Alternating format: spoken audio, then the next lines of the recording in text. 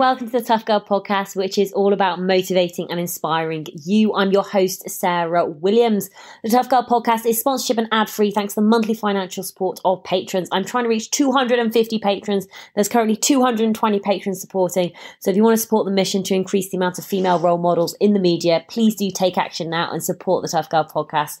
Please visit Patreon, P-A-T-R-E-O-N dot com forward slash Tough Girl podcast. Today, I'm absolutely delighted. We're going to be speaking to Jen Ben Benson, who is 40 years old. She's a full time writer, full time athlete, and full time mum to two younger children. Jen's now going to share more, a little bit more about her life.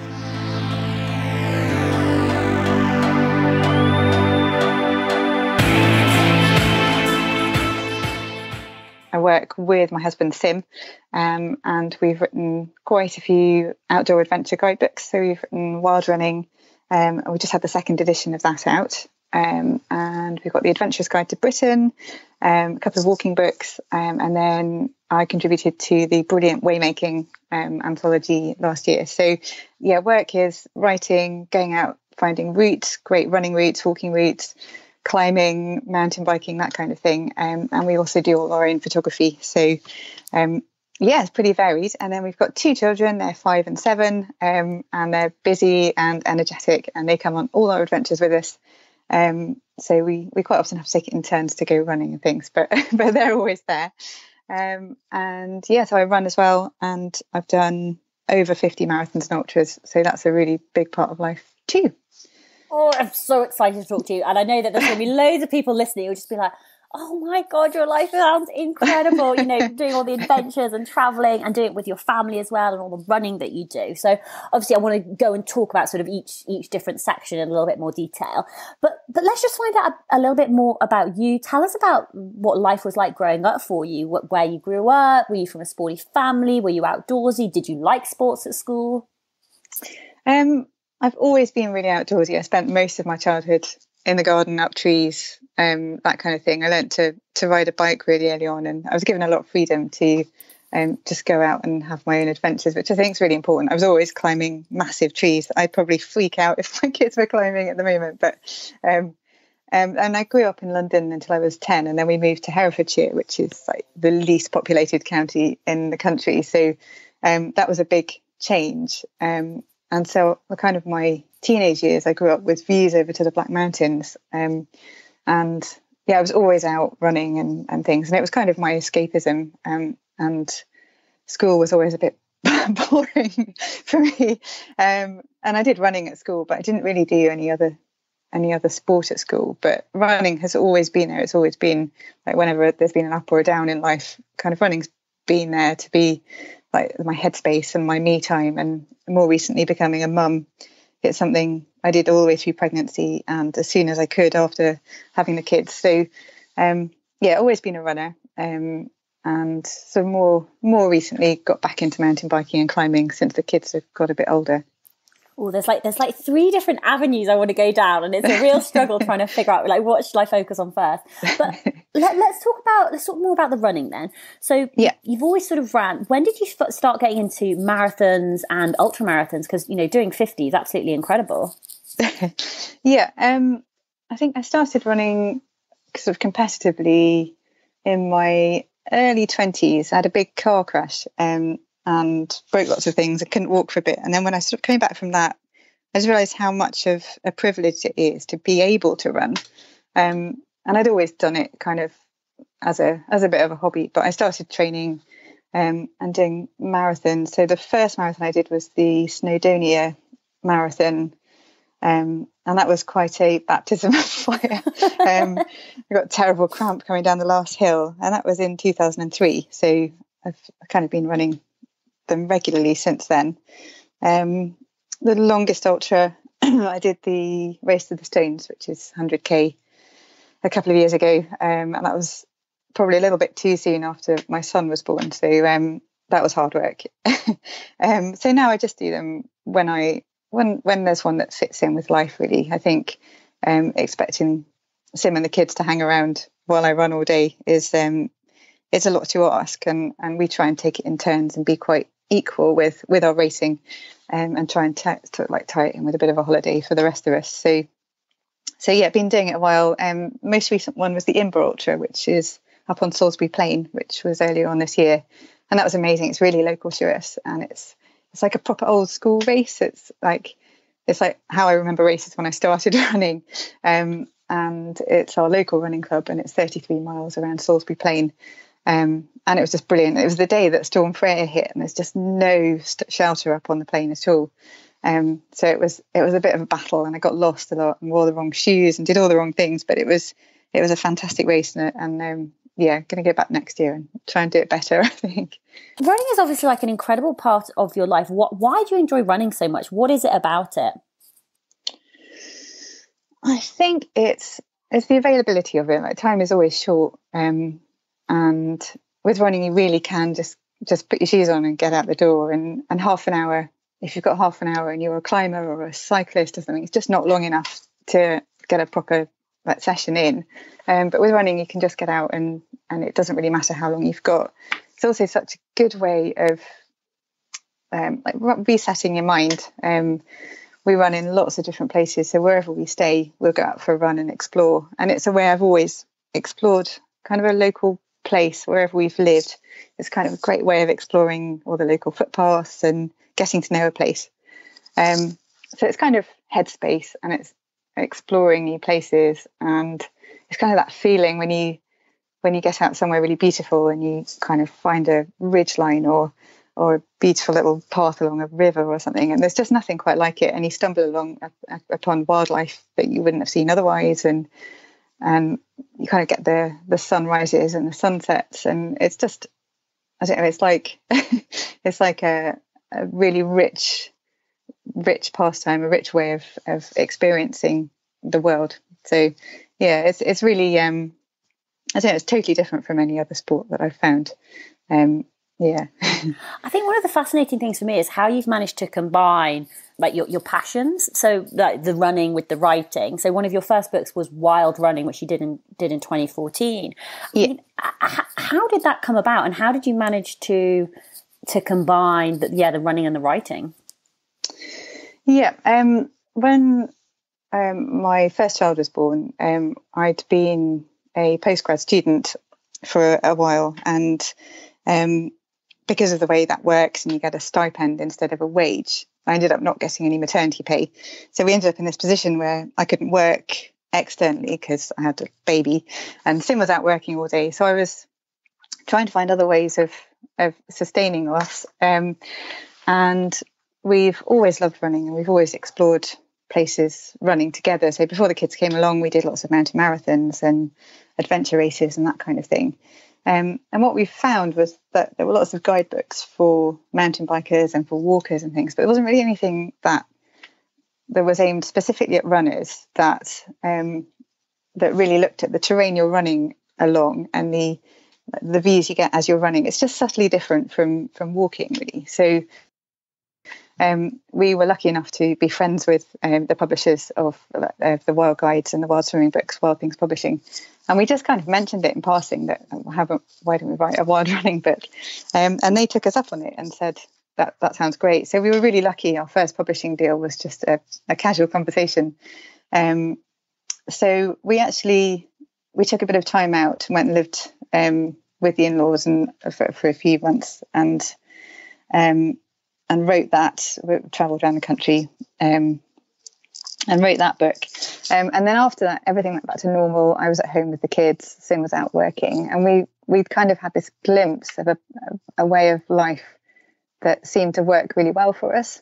Um, but being somewhere where we were paying rent and there were all the bills and things, it's quite hard to get established in writing um, when you've got all those outgoings. So we decided to go and live in a tent for a year, um, just basically to have an amazing adventure and to reduce our outgoings and see if we could get ourselves established doing something that we really wanted to do all together um, and it worked for all of us and felt balanced rather than you know Sim being out at work and missing the kids, me being at home and missing doing anything else.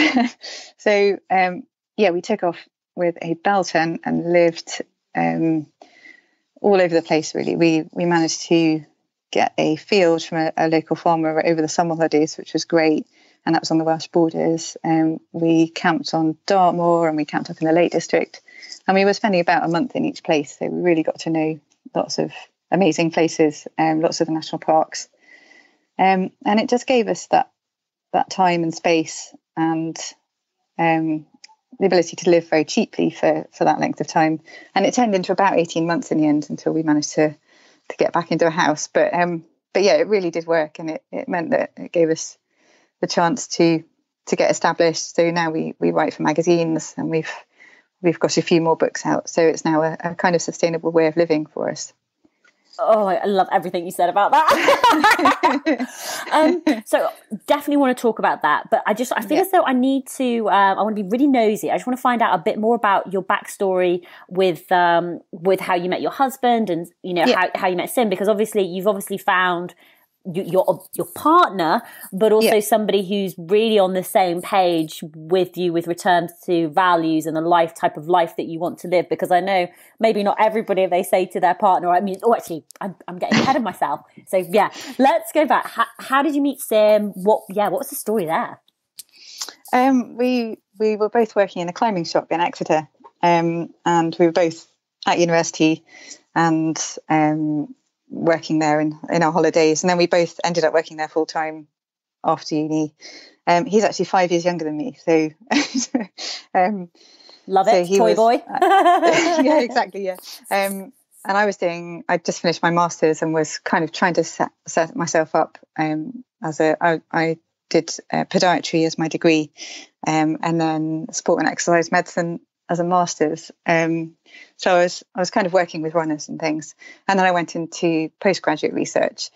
Um, so throughout that, I was sort of working part time in the climbing shop, and then Sim started managing the mail order um, and um, took me on as a part time member of staff. So he was my boss for a bit, um, and we just we just hit it off. We were working in a little office, really busy, and we just worked together really well. And we started planning races together and kind of it went from there really. Um, and yes, I think exactly like you said, the meeting someone who has that that same mindset that kind of it's not all about career and about getting on the on the housing ladder and getting a, a bigger car and, and all that kind of thing. For us, it was all about the experiences and about spending time together because we were we were working for other people and and you spend so much of your time apart um, and especially once we had children, like he was working for pretty much during the week the whole time that they were awake that, that they were awake. So he'd leave before they woke up and get back after they'd gone to bed. And it just felt like a a non-sustainable way of living for us. So um so yes i think i think we've both always kind of grown up doing outdoorsy things. He went to all the 10 Tors stuff um in I, I, don't know if you're familiar with that, but the, the schools on um, on Dartmoor um, every year they have a big ten Tors um, like navigation event, um, and I think I don't know he grew up with that kind of thing, so he's always been very confident navigating and and camping out and things.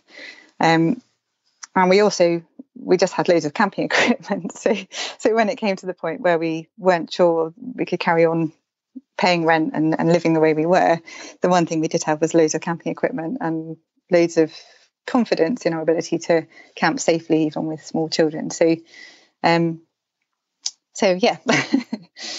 How old were your children in 2015? Um, our son was six months old when we moved into the tent, um, and our daughter was just three. So quite little. Oh, I love this. I'm just thinking back to like my my niece who's three and my nephew who's about he's about nine months as well. Yeah, yeah. So I, I always want to go back to how this conversation evolved. I mean, I, I get it. I understand what you're saying. You know, you're you're, yeah. li- you're living this life, you're paying these bills, and actually. It, you know, so it wasn't working. But how did how did it? Yeah, how did this? Where did the idea come from? Like, did it start as a joke, or was it? Yeah, sorry, I'm so glad excited. yeah, I mean, I think I think we'd been kind of going along for quite a long time, knowing that we weren't happy um, with the state that things were in, and knowing that we were going to have to either move to somewhere cheaper and less a place we wanted to to bring our our kids in, um, or we were going to have to kind of move move back in with parents, which wasn't really an option. Um, so I think I spent quite a lot of time kind of wrestling in my mind about what, what we could do. And I'm fairly sure I came up with the idea when we were camping. Um, I was just lying there and thinking, actually, this is something we could do longer term. Um, and kind of making that, turning a bit of a crisis into an adventure was something that really appealed. Um, yeah, I wouldn't do it now, I have to say. um, but at the time, I, I was, I remember we were camping and I just said, you know, why don't we try and do this for a bit longer, like go on a big adventure. And and initially we're thinking about getting a yurt and trying to find somewhere um, permanent for the year. And we looked into getting yurts and things. Um, but then we actually thought rather than rather than just being in one place for a whole year, um, it would be a really good opportunity to go and explore lots of different national parks and and spending a month somewhere you really get to know it and especially when you're sleeping on the ground listening to all the owls and and things. It's it's a really amazing way of experiencing somewhere. So yeah, I'm fairly sure it was it was all my idea to begin with, but Sim was totally he he just went with it. Um, and yeah, it went from there. and as soon as we'd made that decision, all the it just felt like the right thing to do at the time, and all those stresses of can we pay rent next month and that kind of thing just kind of disappeared, and we handed notice in, um, advertised all our furniture and people came and took all our stuff away. and it was a weird experience. We ended up sitting on the floor that last like the last evening we were there and all our stuff had gone. And um, and we had this this big tent and a wood burner and everything we needed. And it was yeah quite quite an amazing experience. What was the reality like sort of getting out there? And i mean it's i, I, I love it. I mean sim- simplifying your life to a whole new level but then suddenly you are in a tent in a field with a three year old, a six month old. Um, yeah. Small space. Uh, I obviously want to know what happened about bathrooms and, and toilets and electricity. And yeah, what was reality like for you? I think I think it's important to underline before we we embarked on this, we do have um, really Sim's parents are incredibly supportive and we kind of knew that if anything went wrong or if the kids got ill or anything like that, we could show up at any time of the day or night with them. And I, I think that was a really important thing to know. We had a backup plan. Um, but with kind of day to day living, the um, we mainly camped on campsites. So especially over the winter, campsites are very cheap, very quiet. Um, and for the first, I think we started in November. For the first three months, we had a wood burner. So we had a, a big bell tent with a hole in the roof with, with the flue going up. Um, so we had a wood burner in, in the tent. Um, and that worked okay, but it was a bit smoky at times. And trying to keep a three year old away from the wood burner all the time was a bit stressful. So after that, we tended to stay places where there was either electric hookup um, or so either campsites with electric hookup or the um, the place we managed to the field we managed to get over the summer for a couple of months that had electricity that we could run a, an extension cable to. And then we got um, a little electric heater which made all the difference. Um, and you could just put it on in the tent and it would warm everything up and it was great and it was much safer and much cleaner than the wood burner. So the wood burner was kind of a nice romantic thing to start with but it was actually a bit hard work longer term um, I think the hardest bit was probably March, April time. It was quite a it was quite a warm winter, which was good, but it was quite a wet spring, and we just ended up with so much mud right outside the tent. So we ended up having to put pallets and things down, so we didn't didn't get too muddy. So I think the mud and like days and days of rain is the hardest thing because it's quite hard to to entertain, especially a three year old. A six month old doesn't really care very much, but the three year old is, is quite hard to keep them entertained when there are days of it being rainy outside and it's hard to dry anything out. So, um, yeah, the campsites in the winter are weird. you get quite a lot of people who are who are kind of long term campers. So the the campers that are over the, the campsites that are open over the winter, you do get the people who like live in a in a van or a caravan or a, a tent long term. So it's quite interesting characters we met. Um, an ex surgeon from the, the NHS who had just jacked it all in and gone and lived in his van with his dog permanently and things. So really interesting um, human stories as well. Um, we met over the year. Um, and yeah, and over this over the warmer months, camping's just great. So on Dartmoor, you can wild camp legally. It's one of the few places, well, it's the only place in England you can wild camp legally. So um, over the summer, we did quite a bit of wild camping, um, just single nights in different places. Um, uh, my son's just come in. It's okay. Hello, little man. Huggy, I'll be out in a minute. Hello. so, um, I think I, I did think we've done amazingly well without him coming to find me. That's okay. Yeah, so um, mainly campsites with with electric hookup were a real saviour, especially trying to work as well. Um, and then a couple of times um, we did we got a, a barn in Cornwall um, in the winter because uh, the kids got got colds and we were all feeling a bit like we needed a an indoor space. So we did we stayed in a barn um, a barn conversion for a bit. Um, and then at one point, our tent blew down and got really damaged in a storm. So we did go back to um, Sim's parents for a few nights. So, like, our deal was that that we wouldn't put anyone at risk and we wouldn't put anyone's health in danger. Um, so, anytime we any of us got ill, we we tended to go and find somewhere with a, a warm bath and, and, and central heating. Um, but I, we we did over 300 nights in the tent. So yeah, it did. It was it was a, a pretty big year. How did you manage? Um, I'm not quite sure what the, the right word is here, but in terms of, I don't know if it's it's not status and it's not ego, um, but in terms of making the adjustment or having society's view on you. I mean, I don't know how much that changed. I don't know if you're if your friends are supportive. You know, for me, when I moved back in with my parents, it was like, oh my God, I'm, th- you know, I'm 36 years old. Oh, actually, no, I would have been 30, 33 when I moved back in with my parents, you know, four weeks, yeah. four, four years later, still here.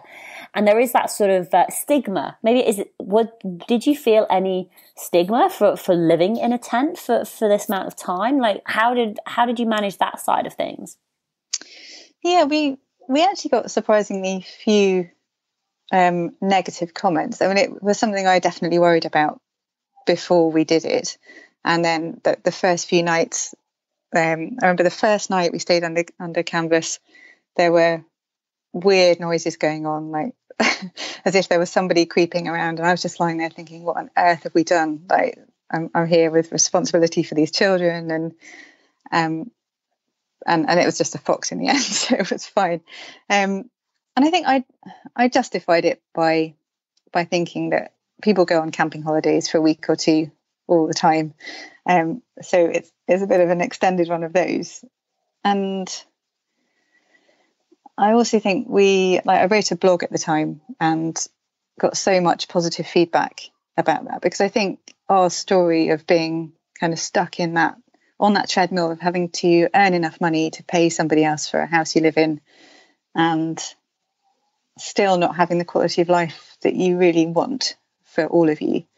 Um, and I think that rings true with so many people that actually doing something a bit extreme, um, I, it, I think it's justified in a way. I think I think people understood exactly why we'd done it.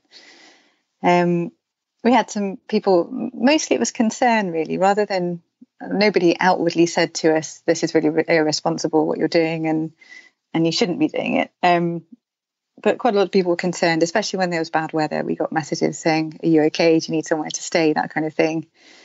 Um, but yeah, I, I think I think at the time it was it felt like the only option we had, um, and yeah, people were really positive about it. I think my parents were a bit worried. I think they were worried from a safety point of view. Um, but you never hear about anything happening to people who've gone on a camping holiday. So, sort of rationalizing it, um, I felt like it was a, a reasonable level of of risk if there if there is much risk. Um, and again, like having having that backup of being able to go and and crash at Sim's parents was it was just so important, and it meant that it took that edge of irresponsibility that that could have been there off us a bit. Um, and we did several festivals and things and talked about what we were doing and and it's been the one thing we've done that people have just been really drawn to and really interested in. Um, and yeah, and and luckily, um, having spent that time out, it's worked and it has made us able to to live how we wanted to live. And and it's still not easy. It's still like it's as you know that like the, the writing life is such an uncertain one and you're always having to go out there and and and kind of find new work and it's it's never a definite but but at the moment it's it's working it's sustainable. Um, and I think if there were people who who um, weren't sure about what we were doing or doubted us or thought we were responsible then then hopefully the fact that we've kind of come round and and we're now back living in a house and and it kind of worked in the way that we hoped it would work um, I'd love to talk to you more about sort of adventuring with with children as well. So you've talked about running and writing, and you know, running being a big part of, of both of your lives. Yeah. H- how did that change once you had um, once you had your little ones? I think the main change is that we now have to take it in turns to run. So unless we're somewhere like we don't, we're, we're not very good at getting childcare. um, so so really the only place we can both go for a run is at Sim's parents and they look after them and we go for a run. But the vast majority of the time since we've had the kids, we've taken it in turns to run. Um, early on when they were little, I'd get out really early um, while they were like the, the couple of hours they'd sleep first thing in the morning. I'd go for a run then, especially when Sim was working, so I'd have to fit that in before he went. Nowadays, we tend to split the day up. So I will work and run in the morning, and then Sim will work and run it in the afternoon um, and the other one will have the kids. So that works pretty well. Um, we homeschool at the moment, so um, so we're also kind of educating them. so the, that again, that works really well, and we're both. I've, I've lectured at uni, and and Sim's a, a, a qualified teacher, so um, so it's something we both love doing and, and both passionate about. So um, yeah, I think with, with, running, taking it in turns since since the kids arrived has been a, a, big one, and we can't race together at the moment. Uh, but it's only temporary, and like they're growing up fast, and they'll be more and more happy to to kind of go off and and spend weekends with grandparents and things. So so hopefully at some point in the future we can go back to doing mountain marathons and things. Yeah. You, you talked about Race to the Stones, which you did sort of quite soon after after your son. Yeah how was that? And was that a race that you'd already sort of booked in and wanted to do, or was it something that you booked in afterwards? And and how did you manage sort of the training while you know while having sort of a, a new child? Um, it was something I did at very short notice. We um, we were we got into conversation with Threshold, and and they said, "Well, come and run it," and and and we were going to write about it. And I'd never run that far before, and it was just a. I just thought I want to kind of prove to myself that I can. I can still take on a big challenge, you know, even after, not not soon after having it. It was, it was probably a, I don't know, within the first year. Um, and so I didn't get loads of time to train. And while I run regularly, I hadn't done enough long runs really. so I did as many as I could. And I think I had about five weeks before the race. And actually, the biggest problem on race day was it was the first time I'd been away from him for any length of time. So I had to be on the bus at five in the morning and I didn't finish until well into the evening. So it was a long time to be away from him, which I found quite hard. And I was actually still breastfeeding at the time. So I think the thing that hurt the most when I finished was my boobs. so, so uh, not feeding all day. I think when you when you hear about uh, Jasmin Paris and the other amazing mums who do this kind of thing, they do feed en route. And I think that would have been a really good idea because it does get uncomfortable otherwise. so, yeah, all these things they didn't tell you. And yeah, so I think it was a bit soon, probably in retrospect. And I'd done marathons before, and that was fine. It's just kind of a bit more of a manageable length of time.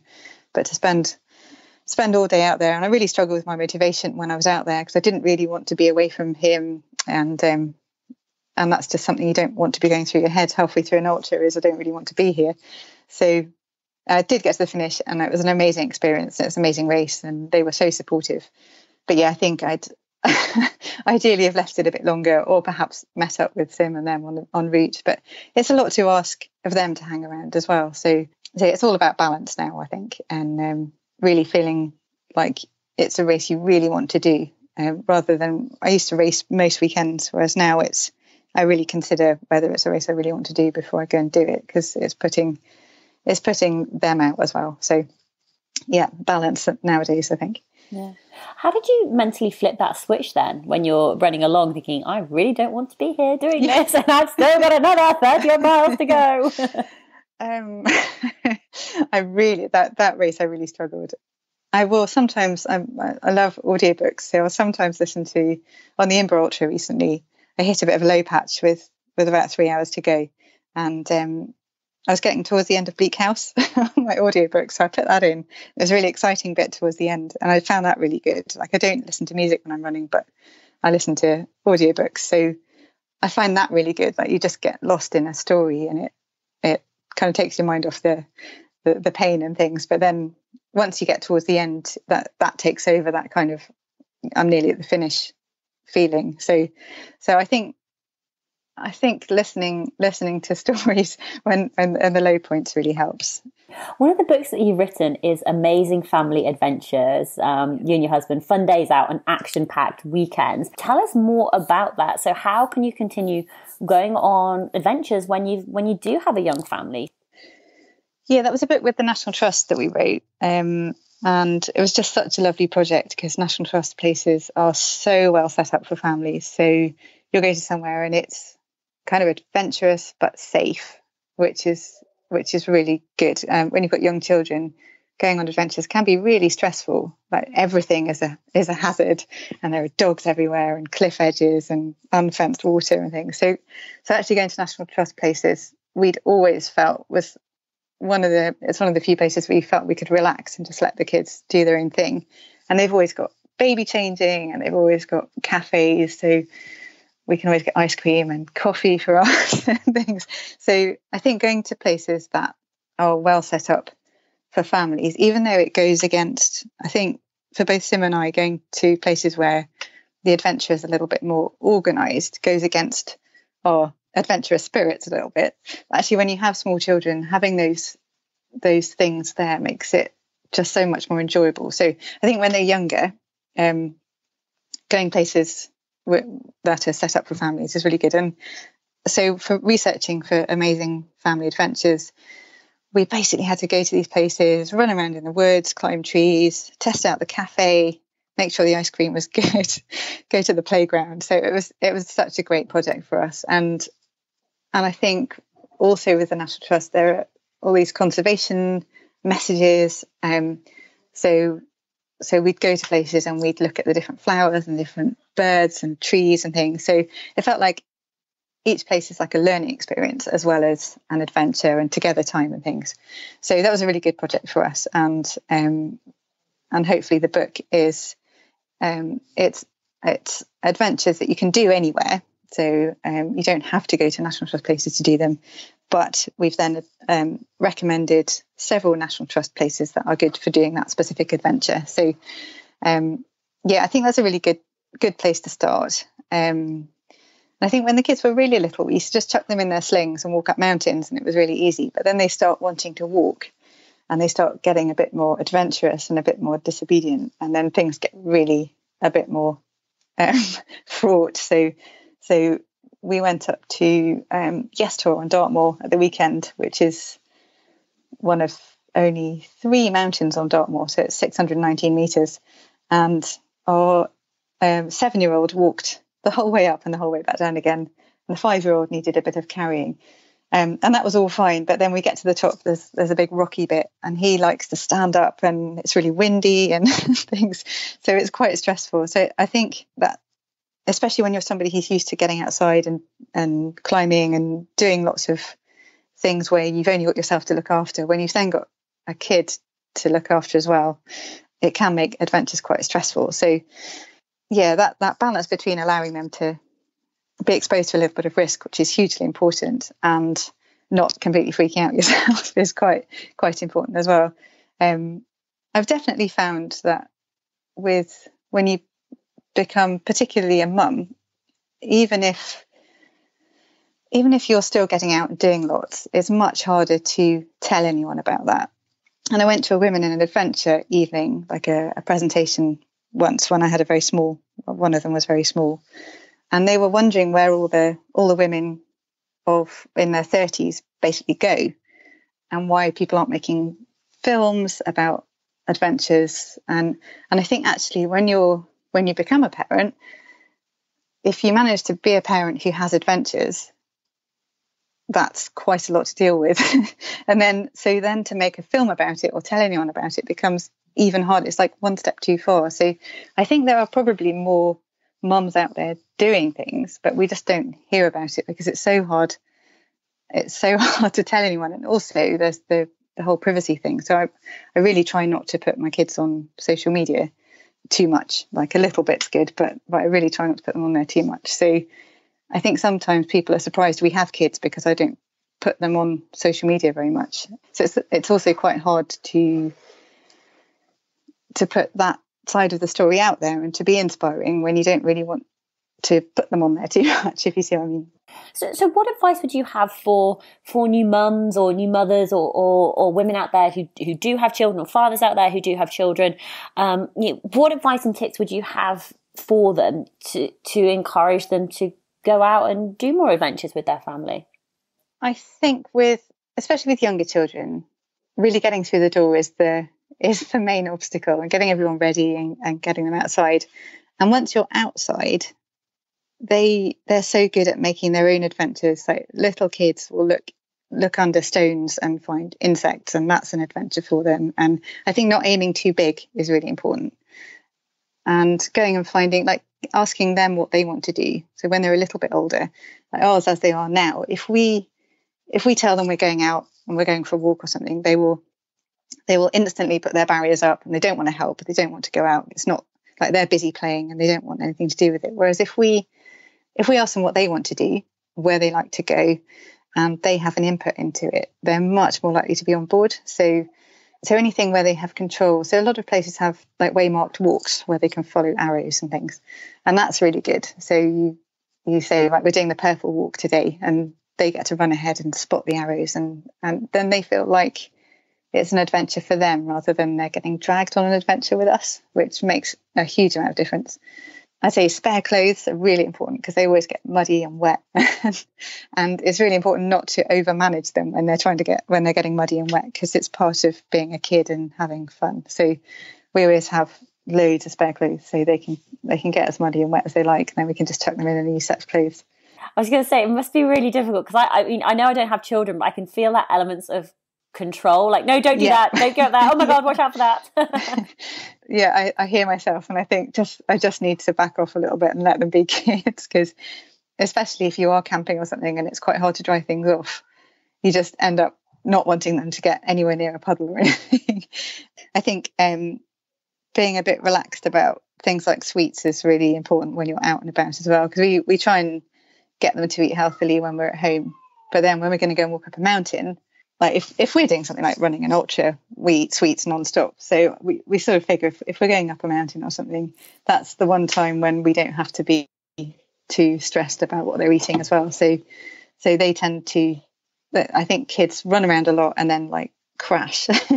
so so it's really important just to keep them keep them topped up with snacks and and um and that helps them identify that they're getting hungry as well. So they can always ask for something and always have something. So yeah, regular snacks lots of spare clothes, um, carrying them as well, especially like our seven year old now doesn't want carrying anymore, which is good because she's getting quite big. But the even our five year old sometimes just wants to be picked up and carried for a minute. And I think that's if you can do it, it's really important that they know there's that option. And they're much more likely to be up for going somewhere if they know that if they get really tired, they'll just get picked up.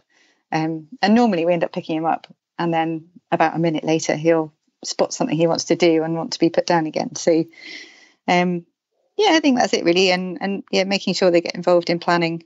Yeah, and maybe packing a few of their own things. Um, ours have got a couple of little rucksacks, so they pack their own snacks and toys and things, and then they feel like they're they're part of the whole planning adventure because they're, they're not that different from grown ups. We love the planning bit of adventures as well. So, um, yeah, just get them involved really. I like the idea of just knowing there's somebody there who could pick me up. Yeah, that would be so nice. That would be so, that would be super fun. what was it like sort of leaving tent life behind? So, you know, 18 months living under a tent, completely changing your your way of life and um and then to to moving back into um into four walls with a roof. How was that adjustment period? Were you ready for it at that point? Did you miss tent life? Um, you know, yeah, how's that all going?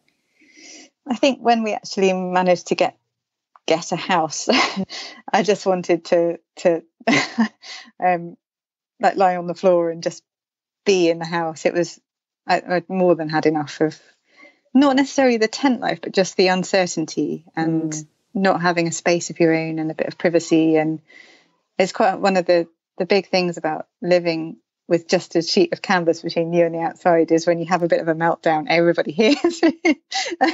and, and hopefully that doesn't happen too often, but it's there's just there's just no privacy on a campsite. And when you're there for a couple of weeks, it's not so much of a problem. But kind of having to live like that all the time is, is sort of oddly restrictive really you can't kind of sing in the shower and things um, so being in a house the main thing was just having a bit of privacy and a bit of um, just just your own space. Um, and we've got little garden, so the kids can play really safely in the garden, and that's amazing.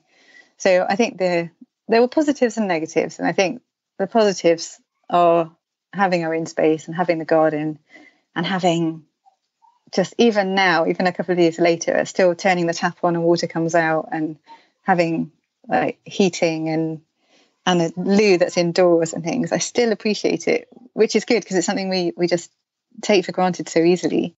So yeah, just having and just having your own toilet, and it is something we just grow up with in this country, yeah. most of us, and and and all these things that are just there, the like a switching light switches on and things, and and it's so exciting for a few weeks, but then it is it just everything is much more hard work, um, and it it it does leave you with a little bit less energy for other things, I think. So, but I also think I often feel a bit shut off in a house because being so immersed in nature was amazing. Like having all the bird song all the time, and and you can hear what the weather's doing when you're in a tent. Um, like listening to, I remember we were in the Lake District, and there was a storm coming, and you could hear the rain like thundering down the valley before it got to us, and that kind of experience of you never hear that in a house, um, and and I do sometimes feel like with our like walls and double glazing and all that kind of thing, we're so cut off from the space we, we're in. Um, so I, I've definitely found I like to have the windows open and things so I can hear outside a lot more. Um, and when we're camping, the kids always sleep better as well. I think there's that like gentle background noise, isn't there, often, and and they still sleep better in a tent than they do in a house. Um, so yeah, I miss I miss that kind of feral feeling yeah. of being really immersed in in the place you're in. Um, and in some of our national parks, it's such an amazing thing to be immersed in. So, um, yeah, but but nowadays we can always go camping whenever we really want that. We can go go and sleep in the tent, um, and then retreat back indoors afterwards. And working is so much easier now because having to find Wi-Fi in cafes and libraries and things especially when you've got small children screaming about, is is quite hard work. So, so um, being able to work from home is amazing. I, I, love one of your your most recent books, actually in 2018, "The Adventurer's Guide to Britain," which I think is you know absolutely fantastic because. Oh, thank you. so so many people think that, uh, and I have to say, I fall into this habit as well. That are not that I can't have adventures in Great Britain, but it's almost like I want to have adventures further afield. I feel as though I need to travel, um, you know, to far flung places around the world to go on an adventure. And that's almost like my definition of adventure. Yeah. But you created this guide, the Adventurer's Guide to Britain. Um, tell everybody a little bit more about, about that book. Yeah, I think we'd spent we've spent so long exploring Britain and and every time we go away we find we find things we hadn't realized existed um, like last year we went up to Scotland and we went we went and explored the islands and there were places and people and uh, ways of life that, even though we are in the same country, are so far away from our normal everyday experience that it, it is just like going going somewhere else.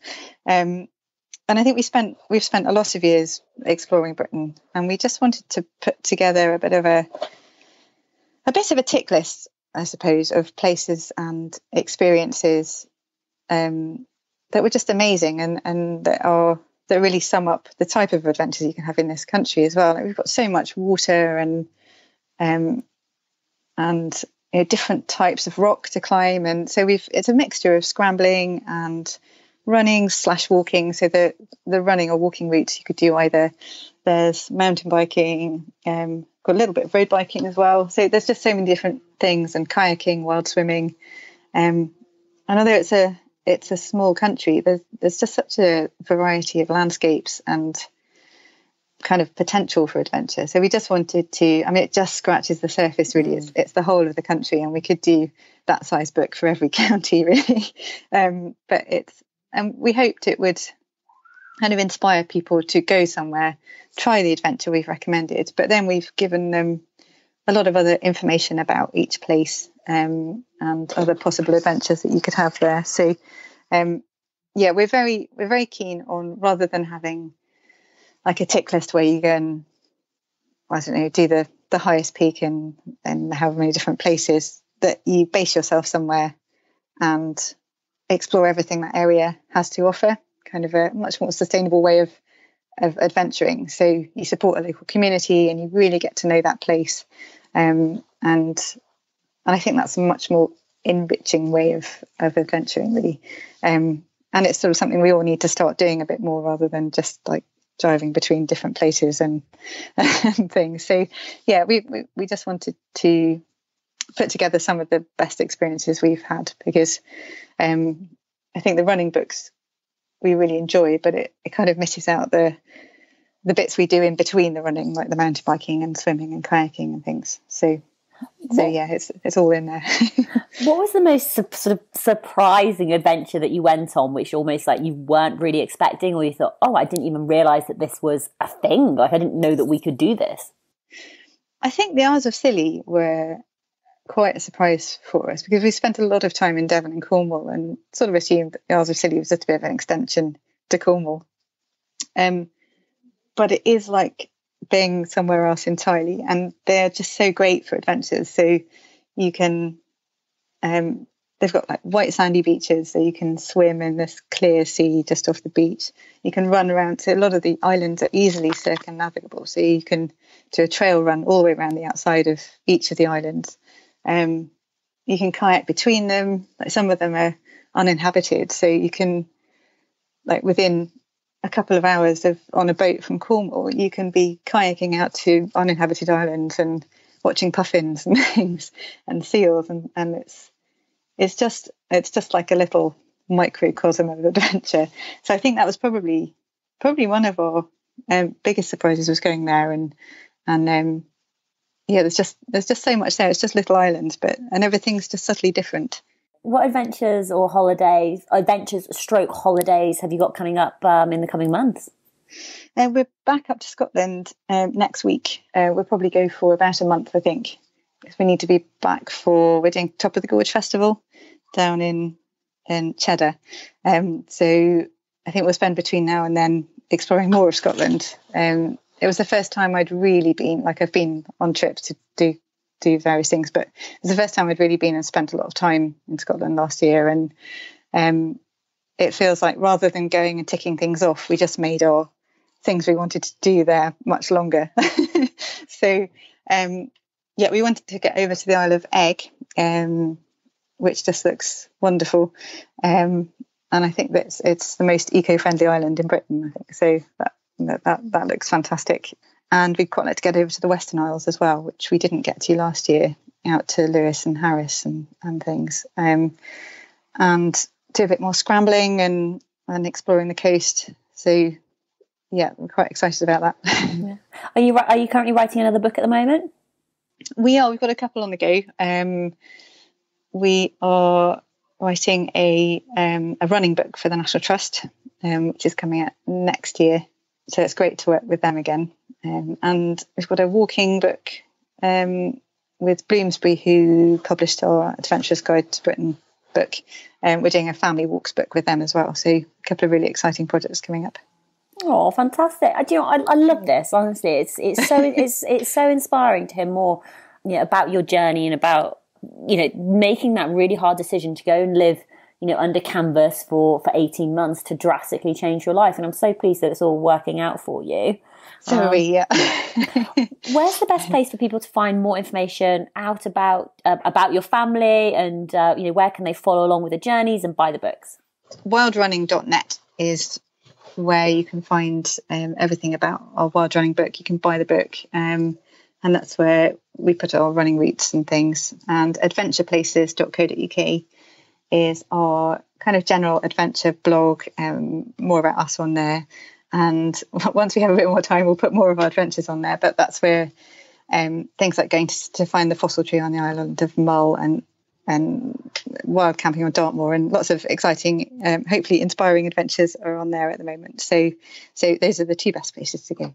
Oh, Jen, thank you so much for coming on the Tough Girl podcast to share more about your story and your journey. It is so inspiring. I'll be making sure that I put all of the links to your social media, to the books that you've written, to your websites, etc., so people can come and follow along and hopefully go on more adventures, which is what we want everybody to be doing. Thanks so much for having me on.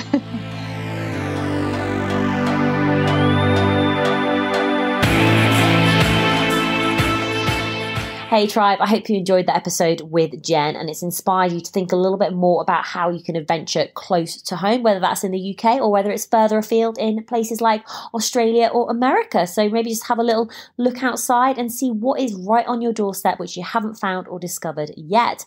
So one of the things which helps to spread the word about Tough Girl podcast is you, my incredible listeners. Thank you so much for telling your friends and family. Um, another powerful way to do that is actually leaving reviews on iTunes. So we're currently up to 188 reviews which is amazing. And I'd obviously love to hit 200. Just going to read out two of the most recent reviews in June. So the first one is Hi Hi There. So thank you so much for leaving a five star review.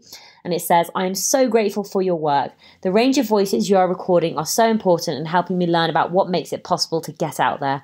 I'm really focused on my own adventures now and how to share them to inspire others. Loads of kisses. So thank you so much for taking the time to leave a review. I really appreciate it. And Belina also left a five star review. Can't stop telling everybody about this. Whoop whoop. Thank you so much. So she goes on to say, I love this podcast. It's so inspiring and it's got me plotting to do my own adventures. I'm always telling friends and colleagues to start listening to it too. The messages from all sorts of women are so positive, even from women who have come across really hard times. I love that it's raising the profile of women and it's such a positive way, in, in such a positive way. We need more of this in our lives. So a massive thank you um, for taking the time out to leave a review. It really does make a massive difference because obviously, you know, I don't have a marketing budget. Is me, me on my laptop or me on my phone helping to promote and share these incredible stories. There are over 200 episodes now of amazing women, all ages, all background, doing a whole variety of different challenges. We're coming up to the the fourth year of the podcast. So the 4th of August 2019 is going to be the fourth birthday um, for the Tough Girl podcast. And I couldn't have done it without all of you. So thank you so much for taking the time out to listen and support me. I really do appreciate it. If you can't financially support via Patreon, P-A-T-R-E-O-N dot com forward slash Tough Girl podcast, retweeting, commenting, sharing, sharing on Instagram stories, telling your friends and family about it, telling your work colleagues about it. It really does make a massive difference what I mean by that, if you if you know somebody is trained to run a marathon, for example, or they or they want to start going to the gym, or they want to get outside more, you know, nudge them in the Tough Girl podcast direction because hopefully by listening to those stories, it will inspire them to think about what they could do and how they could do it. And by hearing other women who've been in a similar situation, it will inspire again, inspire them, and it'll cause this massive positive ripple effect, which is what um, I'm I'm really going for. So, massive thank you to everybody. I hope you're having an amazing day wherever you are, whatever you are doing. Um, so much more information to come about what's going to be happening over the coming a couple of weeks. We've got some incredible guests coming on. We're doing doing a lot of, or I'm definitely doing a lot of special stuff to help celebrate the 4th of August. So make sure that you are following along on Instagram stories at Tough Girl Challenges, on Facebook at Tough Girl Challenges. I'm also on Twitter at underscore tough underscore girl.